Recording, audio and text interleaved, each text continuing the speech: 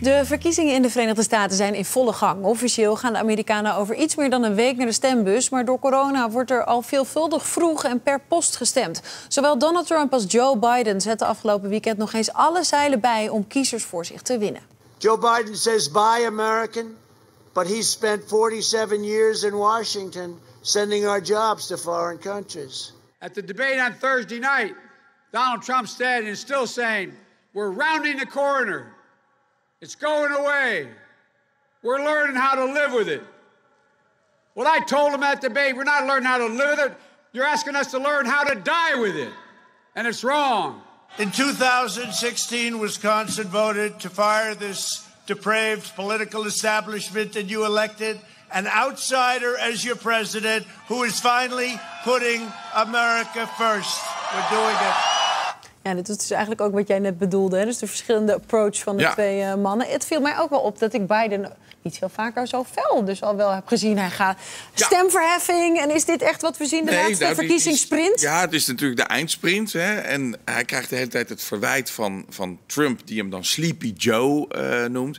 Die eigenlijk ook zegt, deze man is veel te oud. Is, is ook seniel niet, aan hè? het worden. en en eh, die kan dat helemaal niet aan. Dus voor Biden is het heel belangrijk om te laten zien... dat hij nog heel veel energie heeft en dat hij energiek is. Dus nou ja, dan krijg je een beetje... Hè, als je dan een beetje gaat schreeuwen, dan, eh, dan lijkt het al meer eh, actiever in ieder geval. Wat je ook ziet is dat Biden heeft het veel over corona omdat eh, dat virus maar niet eh, wordt, eh, wordt, wordt, wordt bedwongen. Terwijl Trump bijvoorbeeld in, in februari al riep... nou, het, gaat vanzelf weer weg. Ehm, hij heeft ook erkend dat hij eigenlijk het stil heeft gehouden... dat hij al wist hoe, ehm, hoe belangrijk dat virus zou, eh, zou eh, worden. Hoe ingrijpend eh, dat zou eh, worden. En hij heeft gezegd, ja, maar ik ben de president van Amerika... en ik wil geen paniek eh, veroorzaken. Biden wil het dus juist over corona hebben, omdat dat een zwak punt is van Biden, van, van, van Trump. Trump die wil het over van alles hebben, maar juist niet over corona. Nee, dus die haalt allemaal andere onderwerpen Ja. aan. En we horen dus Zoals inderdaad... de werkgelegenheid. Zoals de werkgelegenheid, die er op zich toch ook niet per se voor, goed voor staat op dit moment. Alleen voor de coronacrisis Ja, dan ja weer wel. precies. ja. Eh, Trump die zegt bijvoorbeeld van... luister, het ging juist heel goed met de economie. En corona heeft dat eh, verstoord. Daar kan je mij niet de schuld van geven. Want dat is de schuld van de Chinezen. Hè? Hij heeft het tijd dat het Ja, een- een virus. China-virus eh, is. Hij zegt, maar het ging juist heel erg goed eh, met de economie. Biden, die ook probeert om de zwarte kiezers aan zich te binden... ehm, heeft het daar moeilijk mee. Omdat eh, Trump dan zegt... Ik heb meer gedaan dan welke democratische president ooit in de geschiedenis voor zwarte mensen. Ik heb namelijk gezorgd voor banen. Ik heb gezorgd dat mensen weer aan het werk komen. Nou, als je nou naar Amerika kijkt, is dat altijd de economie en je baan. Dat is altijd ongelooflijk belangrijk. Clinton eh, was ooit met zijn herverkiezing eh, bezig. Het was het van, ja, ja, hoe gaat het nou en waar moeten we nou op inzetten? Toen zei een campagnemedewerker, die zei... It's the economy, stupid. Het gaat allemaal over de economie. Amerikanen stemmen niet over het buitenlands beleid. Dat is, eh, weet je, dat is Ja, maar is het dan niet, een beetje, is heel het dan belangrijk. onhandig van Joe Biden dat hij blijft, blijft eh, focussen op die coronacrisis en niet per se op banen? Nee, nee, omdat, hoort? omdat die coronacrisis die raakte de Amerikanen natuurlijk heel erg. En ook daar waar het gaat over de werkgelegenheid. Ja. Dus als dat niet goed wordt, eh, eh, eh, wordt aangepakt, dat is allemaal binnenlands. Dat het uit China komt, maakt niet zoveel uit. En dan zo'n laatste campagneweek. Hè? Wat voor invloed heeft dat nog op de, op de, op de uiteindelijke uitslag? Nou, veel. Want de groep die Trump stemt is groot. En de groep die Democraat stemt is ook groot.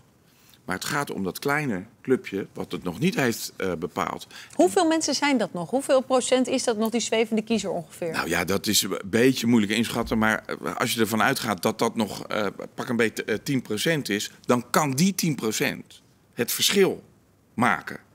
En de andere vraag is dan, komen de kiezers? En daar is Trump in het voordeel. Want de achterban van Trump is enthousiaster over Trump... dan de achterban van Biden over Biden. Dus het get the voter out, wat altijd een punt is bij de Amerikaanse eh, verkiezingen, speelt nu helemaal. Eh, en je ziet dat eh, Trump, dat die weet zijn achterban ook echt wel te enthousiasmeren. Die, die houdt van die grote rallies. Hè. Er komt Air Force One ingevlogen op het vliegveld. Er staat, is dan meteen het decor, achtergrond, veel Amerikaanse vlaggen. Er komen ongelooflijk veel mensen op af.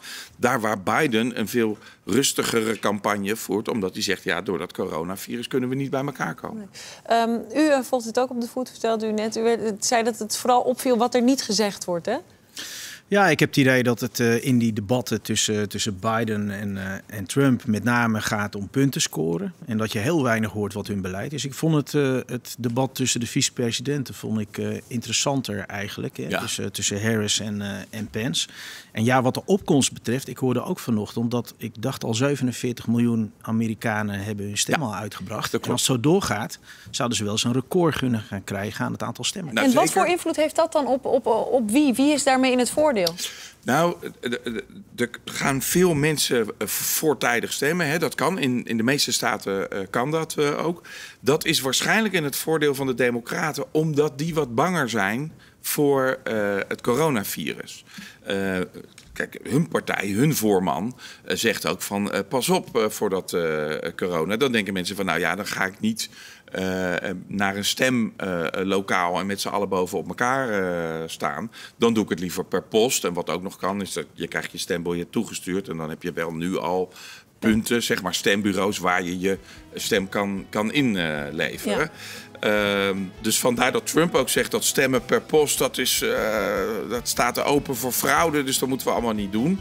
Dat heeft helemaal niks te maken dat de post niet zou werken. Dat heeft ermee te maken dat hij donders goed door heeft dat er meer democraten per post stemmen dan republikeinen. Maar vorig jaar gingen er ook alweer vorige verkiezingen meer mensen op Trump stemmen die normaal gesproken niet stemmen. Dus in die zin is het ook Dat weer klopt. afwachten, dus die, toch? die opkomst Ja. die wordt waarschijnlijk heel hoog. En er staat ook veel op het eh, spel. Maar, daar kunnen we straks misschien nog over hebben. De Democraten hebben meer stemmen nodig om te winnen dan de Republikeinen. Dat is een goede cliffhanger, dankjewel. We